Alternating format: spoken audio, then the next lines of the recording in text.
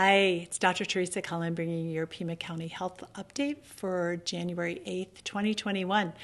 We're doing Data Friday. I've missed the past few Wednesdays. Uh, next week, we'll go back to Data Wednesday.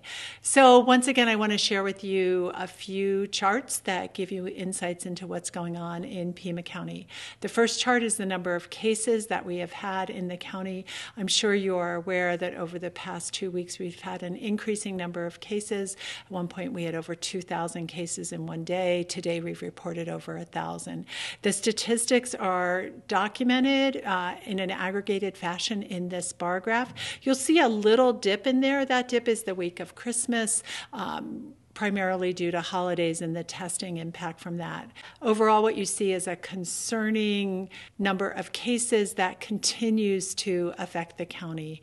I want to couple this with another very sobering statistic that over one in 1,000 people in the county have died as of today due to COVID. The next graph is a graph of our hospitalizations. You've heard us talk about this many times. The reason to show you this is just to support and reiterate to you that our hospitals are in a crisis crisis situation with their staffing, both for medical, surgical beds, as well as hospital beds. And finally, the last graph that we show you is one you've seen before too, our CLI, COVID like illness. You can see we've had these ups and downs with it, but we remain elevated. So overall, our report to you is one of accelerated transmission with a community in healthcare crisis due to COVID 19. We urge you to do the three W's wear, wash, wait. That last W, so I'll remind you from a veteran, is really wingspan. So spread your wings and make sure you're not touching anyone.